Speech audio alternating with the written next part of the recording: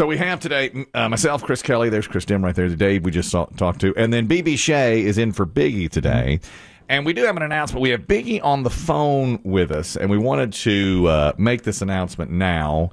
Uh, you know, remember, you know, every show when they have somebody going through something, they say we want to be open and honest with you, as we always are. So we had a discussion, and I said, let's not do that. Let's not be honest. If I may jump in, every other show. Every other show. Let's put makeup on this and cover it up. Right. When um, Alex Trebek, sadly, you know, got prostate cancer, uh, or excuse me, pancreatic cancer, he goes on, he said, I want to be open and honest with you, the fan. So everyone came in together on something we're about to say and said we should be as open and honest as possible. And I said, well, hold on now. Wait a minute. What do you mean when you say open and open and honest? But I was convinced by the end. All right, let's be open and honest about this. And I just said to Dave and Kristen, you know, I, I don't like doing these kinds of things because this is pretty serious. Biggie is not going to be with us for a while. He's on the phone now, and he's going to, you know, he can talk about this, of course, but he's been struggling a lot lately, and we have noticed it. And credit to Dave and Chris Demm. They said, you know, uh, we think Biggie needs some time away to deal with some personal and health related issues that he's going through. So we'll bring him in here now. We uh, kid around and joke around a lot on this show, but he is our friend and he is a really valued member of this program. So I'll just, we'll just turn it over to him now. Biggie, you're going to be off the show here for a while to take care of your health issues. Yeah. Good, good morning, first off, Yeah. to all you guys. Um, yeah, I don't like talking about these things either. I much prefer to pretend that everything's fine. Um, how I've lived my life. Um, but I'd say in the last year or so, just being honest, my weight has just gone out of control. I blame some on the pandemic of isolating myself away. I blame some on just getting older and much like many things, it's kind of like a sinking ship. Once the water starts coming in, it comes in faster than you expect. And I'd say definitely over the last couple months, I've just, it's just things have gone out of control. I barely have any energy. I have enough energy to get up, to get to work, make it through work, and get home and get back in bed. And that's pretty much it. Yeah. It's no, uh, you know, it's no way to live. And, you know, those of us closest to you, of course, have noticed this. And Yeah. uh, so, um, we're so glad you're dealing with it. Yeah. Yeah, I mean, even from you guys, I mean, nobody really sees. I mean, it it takes everything I have to walk a hundred feet, and I know it's one of those things. And weight is such one of those things where it's like, well, quit being a fat ass. Mhm. And it's not when it really gets out of control. It's not that simple, and that's where I'm at. So much to uh, to you guys coming to me. I mean, obviously, I knew you guys knew, but in my mind, you still think you're fooling everybody. hmm So when given the chance yesterday and everyone came to me, uh, it, it was a really, you know, it was a rock bottom moment, but a moment that I needed. Um, because I just thought I was fooling everybody. And, you know, the night before, even last night, not last night, the night before, I literally was laying in bed at one o'clock in the morning because I can't even sleep right anymore. And I was just like, I am just, I'm done. I was like, I need to get up to pee. I don't even want to get up to pee. I don't even want to get up to do anything anymore. Like, I just want to lay here and I just want to be done. Mm. And I'm that that's mentally where I was. So, of course, nobody knows this, and it's hard to admit those kind of things because I was raised just to shut up and go on with life. You know, if you complain, you're not working enough. hmm So I'm going to step away for a little while. I'm not quite sure. Um, I have set up some appointments next week with some doctors. Obviously, you know, looking at my weight, the weight loss surgery is where I'd like to be to, but I am so big that I can't get the weight loss surgery. Right. And I mean, you've told us that in the past that you've thought about weight loss surgery, but you, you can't get it yet. And Yeah. you've this time around, and it, you mentioned your age. Of course, we're all getting older, and you have had trouble this time in trying to lose it because you've lost weight before, of course, but this Yeah, is harder now. Yeah. I, I have lost and gained weight my entire life. hmm Um, this time's different because I don't physically know have the energy to do anything. And I mean, like I said, when I say you know, people, uh, and it's great. Dave always says to me, "I'll come. Let's go on a walk." hmm I physically cannot do that right now. I can't go walk. You know, it takes if I got to get my dog outside, it's like a mission to Mars. hmm Like I start having to prep myself to do that, and that's why it's not like a simple thing where it's like, well, just go walk around the block. I can't do that, Right.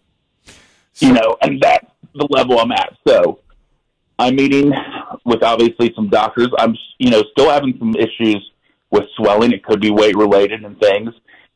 I'm taking this time to work on myself, to figure out what I need to do, where I need to go. I might leave for a little while. I might go stay with my family for a little while. I've got to get myself off the rock bottom. And thanks to you guys, I now have the time to do that. Well, of course, we would do anything for you, and you can take as much time as you need. You know, you can. Uh, we have everything here. Is we have BB Shea right here, so you don't need to worry about us. And we just want you to. That's what we want you to do: is go get the help you need. We're thrilled that you've now we're able to admit, okay, it's a problem now that we just can't ignore anymore. And uh, you know, we just hope the best for you, and take as much time as you need. You know, it doesn't have to be two weeks or five weeks, or it can be as long as you want it to be. Well, thank you, and that, and that's that's what I need. I need some time to to really step away and look at what I need to do because it's true. I mean, things spiral out of control, and I know it's you know, food is not drugs, but food is a weird thing because you need food to live, but you don't really know. When you're like me, it it, it becomes a coping mechanism. hmm So I have to figure out basically how to figure everything out again, to figure out how to get moving again, to lose the weight, and live a normal life where it's like still eat, but you know, still enjoy life. And a lot of my life has been wrapped around food. I mean, I love food, and I tell people this: like, I don't just like Chris Demm is a foodie. He he likes eating good food. I love food. hmm Like I love it. Mhm. It's a whole different thing for somebody like me. Yeah, I know. And- I mean, that's it- it's it's. It, I hear it in your voice. You know, it is uh, such a difficult thing, such a battle, and um, you know, You're not the first to, to go through this. Absolutely. Millions of people go through this Right. uh, all, all the time, and, and they wake up in the middle of the night, like like you did the other night, and I was laying next to him, Mm-hmm. and uh, and he sits there, and you have that moment, and you're like, something's got to change. Right. I'm glad that you've come to this moment to finally say this. Something's got to change to the point where you can't just come into work every day. You've got to get medical help. You've got to get a program, a plan that will take some time. You'll have to fight a difficult Yeah. fight, but you have the tools to do it. Yes, yes, and I'm very grateful. I'm very grateful that we work for the company we do. That you know, a lot of companies would not step in and say anything. I'm grateful for you guys for saying something and giving me the time. I'm glad that somebody like BB Shea is around, who's a superstar, hmm and can fill in and do what I need to do. hmm you know, I I'm just I'm very I'm very grateful. My family's very grateful. Um, because of course they don't see it; they're not here, Right. There- and yeah, and I mean you guys see me the most, but it's you know I've, I've learned to control my environment, and that's what I need to get out of. I, I control how people see me, mhm. and you know, it, it's finally got to the point where I, I, it's out of control. Okay. So Well, we just wish you nothing but luck and success, of course. We can't wait to see you again, but forget about us and don't, we're not going to bother you and you don't have to worry about us and just get the help you need and get healthy and then we welcome you back whenever that might be. Yes, yes, and I'll keep. And look, I'll still be around. You, you know, everyone can reach out to me. Uh, I, I will. I'm not disappearing. I'm just going to take some time Mhm. for myself and get things straight away, so I can come back and annoy Chris Demm better than ever. Exactly. Beautiful. Do you think that I, as your accountability buddy, am somewhat letting you down here? Do you think your accountability buddy? I mean, I, I, I, I, I think I may have been uh, falling short on the job. Chris Demm is putting up an, a big drawing. Uh, he's given me Well- an F for my accountability buddy status. This all falls on your hands, Kels. I have to say, I think this may have started when I suggested the thousand pound, thousand dollar weight loss challenge. That's when it really started. it all went downhill. That was the beginning of a, a nasty spiral. Yeah. beginning of the end. Yeah, that's exactly right. So- Yeah, I um, I think I, I think I read the fine print wrong. I thought it was a race to a thousand. to a thousand pounds. That's the problem. Oh, yeah. Exactly. Good luck to you. And, and Mickey, don't do it alone.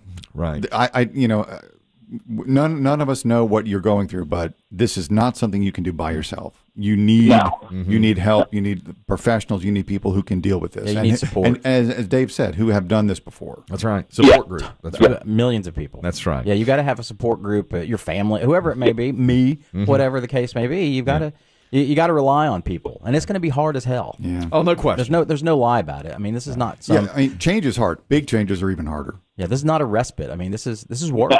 It it's work. Well, and you know, I had to tell some, you know, friends and family obviously yesterday, and that was tough. But you know, and there is everyone wants to help, and and I'm probably going to go spend some time with my family. I mean, they're they're they're they're great, but they're also hard enough on me that you know Mm-hmm. they will keep me on the right track.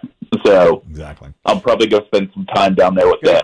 Get the help you need. Mm-hmm. Don't do it alone. Reach out for any support you need from us, and we'll be here for you. Well, thank you guys very much. I, I seriously, I really, I don't know what I'd do without you guys. Um, your support, as there's a deep drive in the left field by Castellanos. Oh God, no, no, that guy again. Thank you, uh, thank you, Biggie.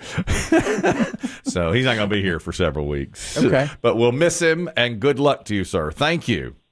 Thank you guys. Hey, Biggs. Seriously, I love you guys. Thank Thank you. you. right, Love you care. too. There he goes. There goes Biggie, off on a journey, hopefully to real health. Yeah. we're hoping Yeah. that's the first step. That's the idea. Difficult to take that first step and admit things like that's embarrassing. Um, And sometimes you need a little nudge. yeah, so that's what that's where we are. So BB Shea is going to be here now for several weeks. And we thank you, BB Shea. Absolutely. course, of yeah. Now, what we're going to need you to do is cut that segment way, way down. I need it. Sure. First thing. I want it edited down. all the emotion out. Try to make Kelly look better.